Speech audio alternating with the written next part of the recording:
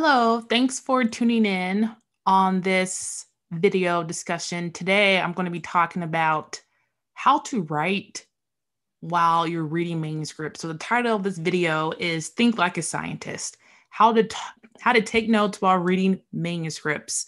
For those who don't know me, I am Dr. Eseosa Ighodaro, and I am a neurologist, a PhD trained neuroscientist, and also a health advocate. To make sure you subscribe to my channel so you can stay up to date on all of the great pearls and jewels that I give on this channel for graduate students, medical students, pre-med students on how to, or some of the skills that you guys need to be able to succeed in your various careers. So this video is going to be talking about reading and this can be a very daunting task. I know it was for me when I first started. So I obtained my MD PhD at the University of Kentucky. And when I started graduate school, so I did two years of med school, four years of graduate school, then two years of med school again for a total of an eight year program. So when I, after I finished my second year of medical school, I went to graduate school and I was so excited to, you know, finally be in the lab and be able to be a scientist. And in the first week of graduate school, when I was in the lab, my phenomenal mentor, Dr. Nelson, you know, said, okay, it's time for you to start reading. And he, you know, gave me a, a handful of papers and I was overwhelmed. I had never really read a manuscript before. I didn't know how to approach it. I so it took me a while to be able to figure out my figure out a good system for me that was efficient and effective. So I'm going to give you that secret that I use and that I discovered and that I still use today while I'm writing my own manuscripts so that you don't waste time. You're efficient, you're effective, you remember what you read, and you can start taking what you read and publishing your own first author papers, which is one of the goals in science. So let's get started. So, when you are asked to read, many of your mentors will tell you before you can even start writing a paper, they want you to read. The first step that you want to do is figure out what is your purpose for reading. So, what I'm going to be doing as we're talking is I am going to be writing out my steps because I'm a very visual person, and these are the things that you guys want to take away from from this video. So let me get situated and write out the first step. The first step is step one. What is your purpose for reading? So at this stage, early on, most of you your purpose for reading is to learn the field. So you're basically trying to learn, get as much background as you need in order to start reading more papers in detail. So, for example, my research topic was on small vessel disease. It was on the blood vessels in the brain and trying to understand what are some of the different blood vessel pathologies that are correlated with cognitive deficits in the elderly human brain. So that's what I worked on. So coming out of medical school, I knew I know what a blood vessel looks like, and I know what a brain looks like. That's pretty much as much as I knew coming out of um, my second year of medical school. So the purpose for me was to really just understand the vocabulary, understand the jargon, understand the field of cerebrovascular disease and vascular cognitive impairment. So, your step one, or step one, is to figure out what is the purpose for reading and try to narrow down the topics that you're going to be reading for. So, for me, I was going to be reading for cerebrovascular disease. And to get more specific, cerebrovascular disease due to small vessel pathologies. And then the second thing I was going to read is cognitive impairment. So those were two big categories of topics that I was going to read initially. So I urge you all who's listening to figure out what's the purpose. For many people, it would be to learn the field, and then afterwards, you want to you want to be able to narrow that purpose down to specific topics that are manageable when you go on to start reading. Now we are going to get into step two of the of my process. So let's write that out for you. So step two is to create an outline for your notes. So many of you are like, why do I need to create an outline? Why can I just not start reading? Because if you read, some of these papers are 20 pages long. So if you sit there and you read that those 20 pages, a week from now, are you going to remember anything that came out of what you read? Most of us, I know I could not. And when I started, and you're not just going to be reading one paper, you're going to be reading 10, 20, 30 papers. And how are you going to keep all the papers straight? And so to be more efficient, you want to maximize your time by reading and also taking notes while you're reading. Now, it's not going to be the same as taking notes when you're in medical school or when you're in college or high school, where you're just, you know, taking notes for a different purpose. You're going to be taking, you're going to be more strategic in how you take notes. And creating your outline is going to help you be strategic. So I will show you guys one of the outlines that I used or that I created when I was early on in my graduate career. So I'll show you guys this document here.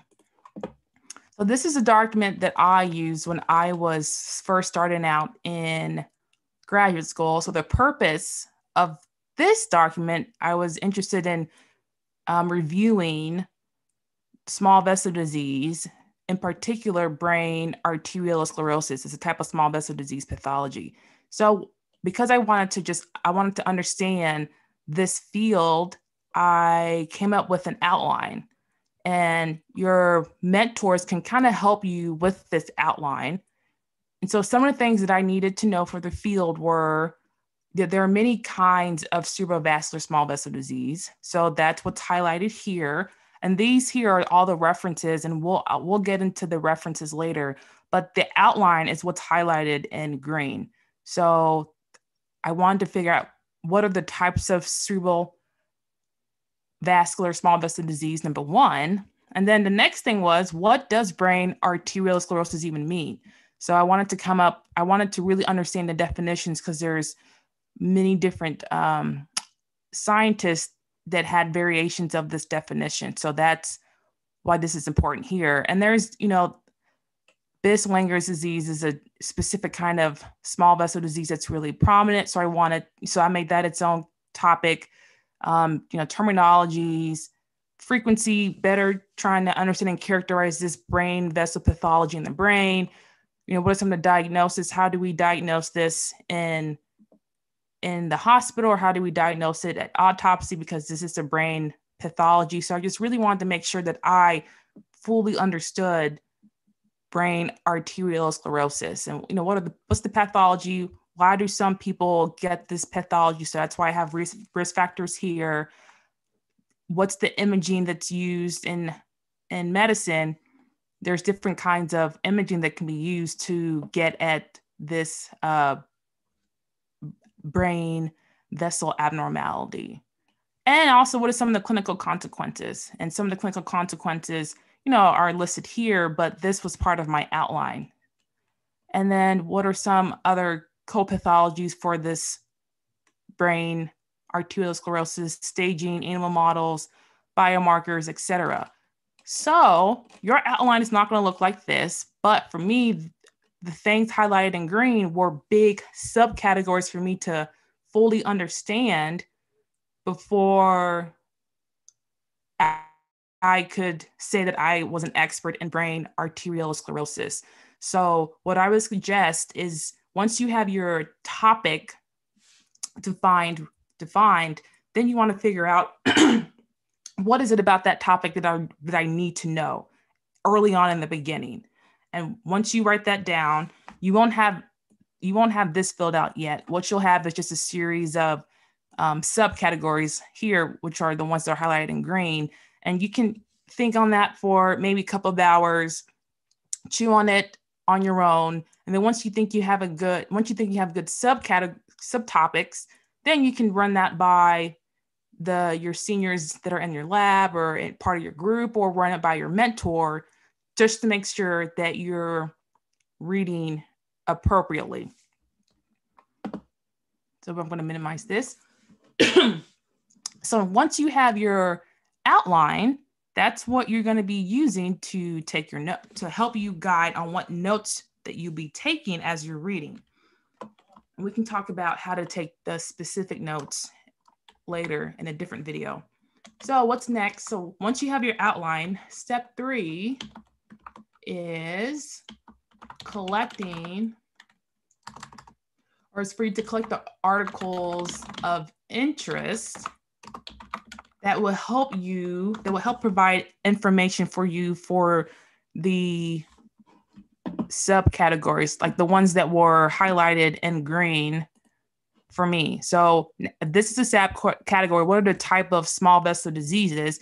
Then I will need to go find articles that talk about small vessel diseases. And early on in this stage, it's always really good to read review articles because review articles, especially those that are, those that are recent, kind of give you a comprehensive understanding of the field. And your mentors are very great at giving you those kind of articles. So don't feel like you have to go find these on your own. Many of the mentors that I've worked with on you know various projects are phenomenal in giving me you know these big um uh, what's the word big comprehensive articles. And sometimes, if they're not able to give you articles, they can give you names of authors that you can go look up in PubMed. And now that's and PubMed is one of the resources that we use, at least in biomedical um, science, and it may be different for specific fields, depending on what field you're in. But most of the time, your mentors can give you the papers that he or she recommends that you start reading first, and make sure that you want you want to read the review articles first and then you can look at you know more specific primary articles. So you collect these articles. You can again get them from your mentor or you get them from other people in the lab which would be ideal in my opinion so once you collect your articles now we're going to go on to step four which is to organize your articles. And this is key. There are many different ways to organize your articles. There are some people who print every single article out, and that's a lot of paper, but to each their own. I'm a I am someone who loves um, technology and I'm always trying to find ways to be efficient, effective, and I love carrying my iPad and being able to have all of my notes in one place. So that's one system that I use. I, you know, um, use OneNote and I, you know, print out my articles into OneNote and then I can take notes within, or I can highlight. I'm trying to pull up a paper that I used so I can show you guys an example of what I am talking about. Okay, this is a good example. So here's OneNote for some for those of you who don't know what OneNote is, I love it. And this is one of the papers that came out of my um, my lab. And so what I did is I got the PDF and I printed it into OneNote, and I can access this OneNote from any computer, my phone, my iPad, anywhere, and I can even highlight. You know, depending on what color I want, you know, I could just sit and highlight and you know the whole the whole article is here and i can continue to print out different articles and then they would all be listed on this side right here so i love onenote for that other systems that other of my colleagues have used are that they will print out the pdfs and save them onto a folder. So here I have many different folders, you know, Alzheimer's, blood vessels, diabetes, um, hypertension. These are all folders relevant to my project. so some when I get an article, if I don't want to save it into my OneNote, then I just you know create a folder and I put it in its respect in its respective um, subfolder. So here are some of the articles that I've saved that talk about Alzheimer's disease. So that's one system that people use. I think the more efficient system to use now is EndNote. So EndNote is a program that allows you to be able to keep track of all of your research articles and it also helps you format your reference page. And this will become this will be important when you go to write your paper and when you go to start citing the content in your paper. And we'll talk about that in a different video. And for those of you who are not familiar with references, this is my first author paper. Look at my name in print. Doesn't it just look so pretty? Oh, I'm so excited. Um, this was published in 2016. This is on brain arteriosclerosis. So let me just show you guys what the, the reference references look like. Let me keep scrolling. Look at all those beautiful images. So these, these are the references and they have a specific format and the format is different for specific journals.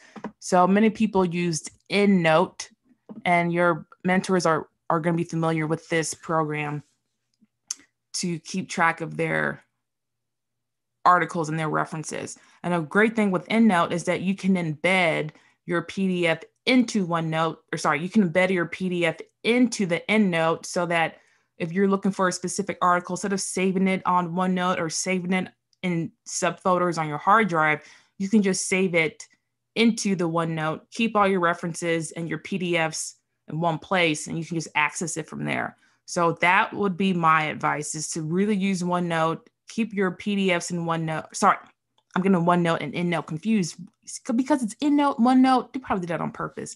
Anywho, my advice would be to save all of your PDFs in EndNote because that's your citation manager and everything's in one place and it's you have easy access and you can highlight and whatnot. So, and I can talk more about EndNote in a separate video. But that's just find your system, find your system how to organize your notes. You can ask your colleagues, you can ask your professors, you can ask your mentors, just figure out your your figure out a system. And after you figure out your system, then step five, uh, step five for me is the fun, it's the most fun step. Step five is to optimize your reading space.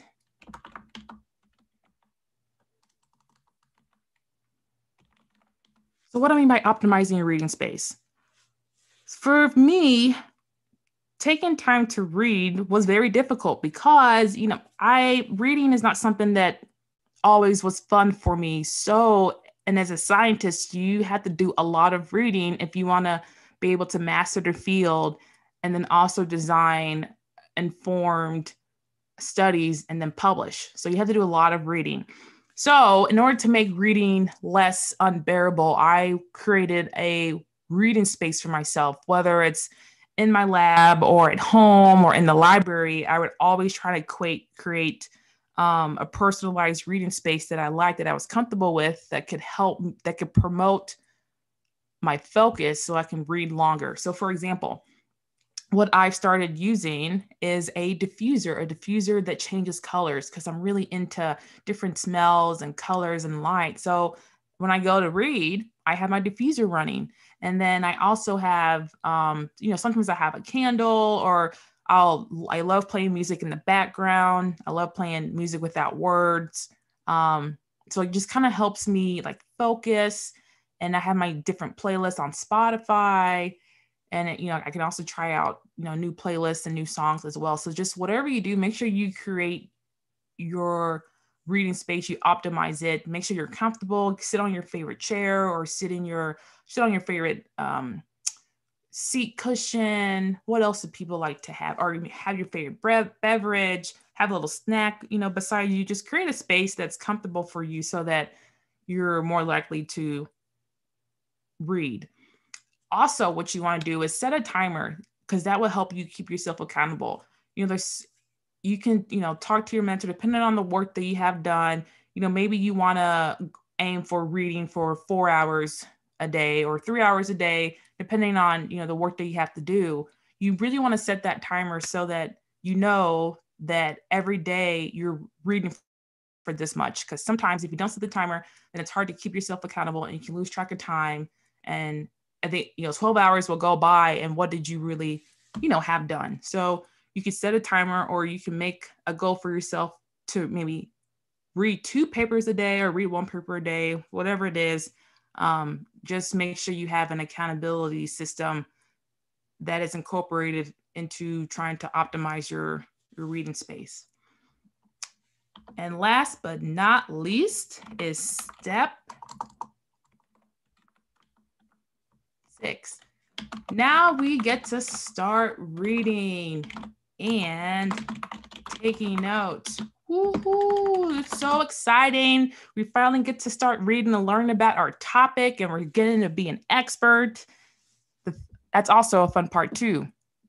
So how how so now we're going to put all the pieces together and we're going to get to start reading.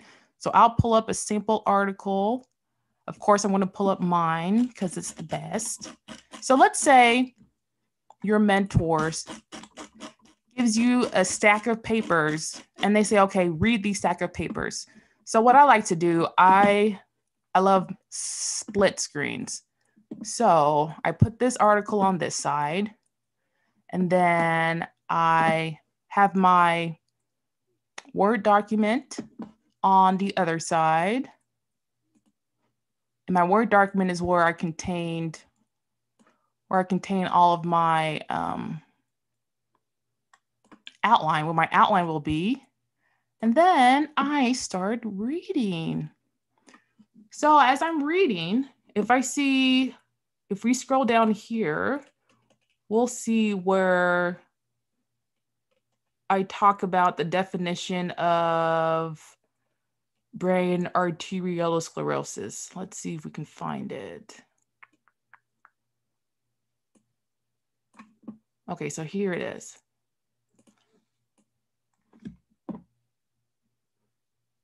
So I can highlight this.